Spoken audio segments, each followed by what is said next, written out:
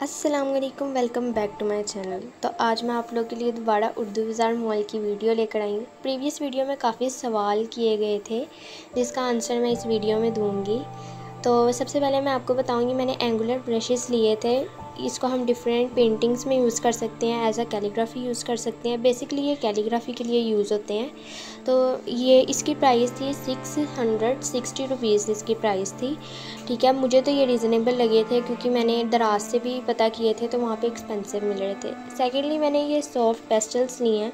तो इन कलर्स को मैं नेक्स्ट वीडियो में ज़रूर ट्राई करूँगी। तो इसकी प्राइस थी एट फोटी फाइव रुपीज़ दराज पे मुझे सस्ते मिल रहे थे, लेकिन मुझे इसकी गारंटी नहीं थी कि ये सही निकलेंगे या नहीं निकलेंगे।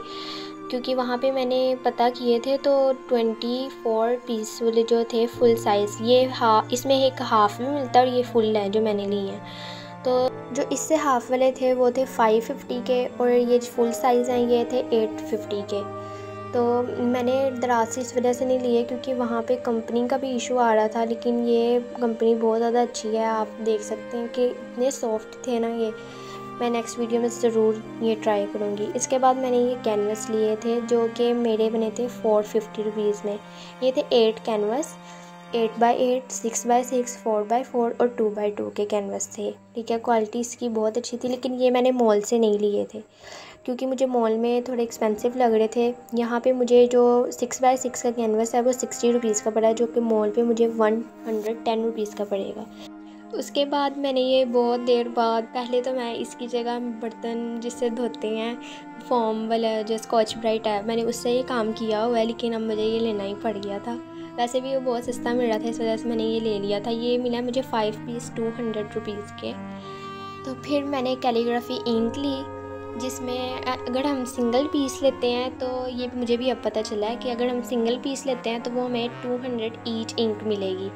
ठीक है? लेकिन अगर हम फुल पैकेट लेते हैं तो तो हमें फ़ोर फिफ्टी की पड़ेगी। ये जिसमें सिक्स कलर्स हैं, ठीक है? तो ये मैंने कैलीग्राफी के लिए क्योंकि मैं सीख रही हूँ, इस वजह से मैंने दी थी। उसके बाद सबसे ज़्यादा जो मुझे बहुत अच्छी चीज़ लगी थी। ये ये मैंने कीप स्माइलिंग के वाटर कलर्स लिए थे।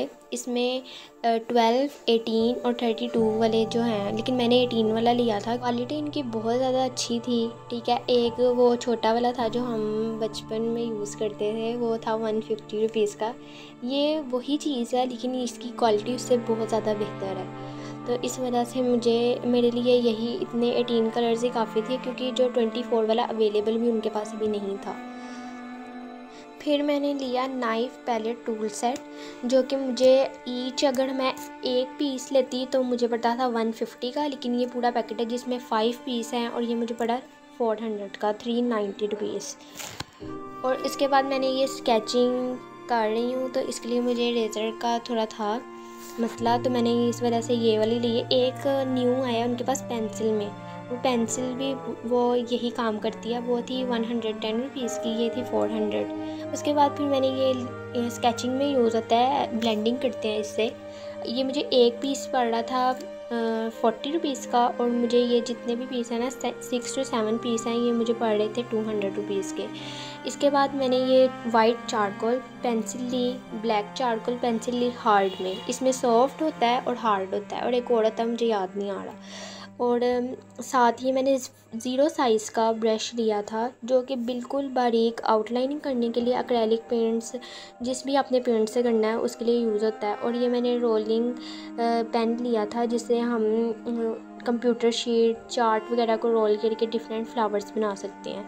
उसके बाद मैंने मैरिज के कलर्स लेने थे, लेकिन वहाँ पे अवेलेबल नहीं थे जो मैंने लेने थे। और जो उधर थे, वो बहुत एक्सपेंसिव थे, वो थे एलेवन हंड्रेड ईच और ये मुझे पड़ा था टू हंड्रेड ईच इसका भी मैं आपको बताती हूँ कि मैंने इसको कैसे यूज़ किया।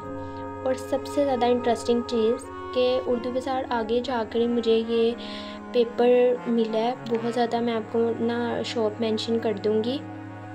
तो मुझे ये ईच शीट जो है वो एट्टी रुपीज़ की पड़ी है। इसका साइज़ तकरीबन एक चार्ट की जैसे एक चार्ट होता है, उस तरह का इसका साइज़ है। तो इसकी क्वालिटी बहुत अच्छी है। एक मुझे मिल रहा था फिफ्टी रुपीज़ का। वो भी चार्ट का ही जिसका साइज़ था, लेकिन इसकी क्वालिटी ज़्यादा बेहतर थी। और सबसे बड़ी बात चार्ट्स वगैरह पर ये वाटर कलर्स एक्रेलिक कलर्स थोड़ा ना वो पेपर स्वेल हो जाता है, फूल जाता है। तो इसमें बिल्कुल भी स्वेल नहीं हुआ या थोड़ा सा भी नहीं वाटर पानी की वजह से बिल्कुल भी नहीं हिला। और सबसे पहले ये मैंने, ये पेपर ही चेक करवाने के लिए मैंने पेंटिंग की है। तो आप ये देख सकते हैं, ये मैंने एक्रेलिक कलर्स को यूज़ किया है। कोई वाटर कलर नहीं है, कोई दूसरा कलर नहीं यूज़ किया। अब ये जो मैं सेकंड पेंटिंग कर रही हूँ, ये मैंने किया वाटर कलर से। ठीक है? वाटर कलर में भी अगर हम बहुत ज़्यादा हल्का भी कर सकते हैं डार्क भी कर सकते हैं, हम डेप्थ भी दे सकते हैं, ठीक है? और साथ हम डिटेलिंग भी बहुत ऐड कर सकते हैं वाटर कलर में। ये नहीं कि हम डिटेलिंग ऐड नहीं कर सकते। जो प्रीवियस वीडियो थी, जो मैंने उर्दू बाज़ार मॉल की बनाई थी, वो मैंने इस दफ़ा भी बनानी थी, लेकिन उधर कुछ काम हो रहा था। और उधर अलाउ भी नहीं था, लेकिन उन्होंने अलाउ कर भी दिया होता तो तब भी नहीं मैं बना सकती क्योंकि वो स्टोर बड़ा कर रहे हैं और इस वजह से ना वहाँ पे बहुत ज़्यादा ना सामान बिखरा हुआ था। लेकिन वहाँ से हम इजीली फ़ाइन आर्ट्स मटेरियल जिस तरह का भी मटेरियल आपको चाहिए painting craft pen fine art material की इधर बहुत ज़्यादा वैरायटी है, ठीक है? कुछ चीज़ें वहाँ से एक्सपेंसिव मिलती हैं और कुछ चीज़ें वहाँ से बहुत रिजनेबल प्राइस में मिलती हैं। ये नहीं कि उधर हर चीज़ बहुत ज़्यादा ना रिजनेबल प्राइस में है। कुछ कुछ वहाँ से एक्सपेंसिव मिल जाती हैं, कुछ आपको उधर चीप मिल जाती हैं। जो लास्ट जो पेंटिंग है वो मैंने यूज़ किया है मार्केट कलर्स को, जो मैंने दराज से ऑर्डर किए थे। इस पेंटिंग को बनाने के लिए मैंने एक्रेलिक कलर यूज़ किए हैं और इस पेंटिंग को बनाने के लिए मैंने वाटर कलर यूज़ किए हैं। तो आप डिफरेंस देख सकते हैं कि तीनों पेंटिंग्स में कितना फ़र्क है। तो अगर आपको मेरी ये छोटी सी एफ़र्ट अच्छी लगी हो तो वीडियो को लाइक करिएगा और चैनल को सब्सक्राइब करिएगा।